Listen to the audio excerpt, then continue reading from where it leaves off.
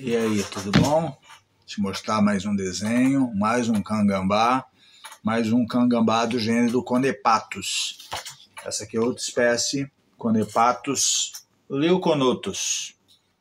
Desenho feito em 18 de janeiro de 2017. De perto para você ver, ele é, tem um pouco mais de pelo do que o, o da Amazônia. Se não me falha a memória, essa espécie vive nos Andes, Grande abraço e até o próximo.